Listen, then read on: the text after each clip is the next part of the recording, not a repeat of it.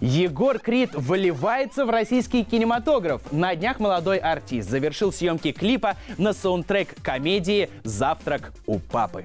Видео на песню «Папина дочка» давно ждали поклонницы Егора, ведь певец признавался, что написал эту песню для девушки, с которой когда-то встречался. Но главная интрига, кто же станет героиней клипа, теперь раскрыта. Ею оказалась 12-летняя актриса Луиза Габриэлла Бровина, известная по сериалу «Закрытая школа». Когда ты уже будешь петь э, своей дочке песню «Папина дочка»?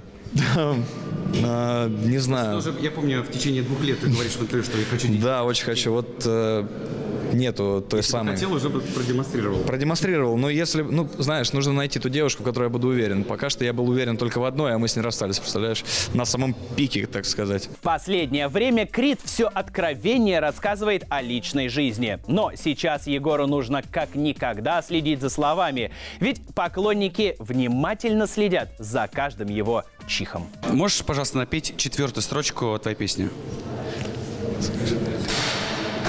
Я красивее ее никогда не видел. Все нормально звучит. Я красивее? Да. Ну, Почему так?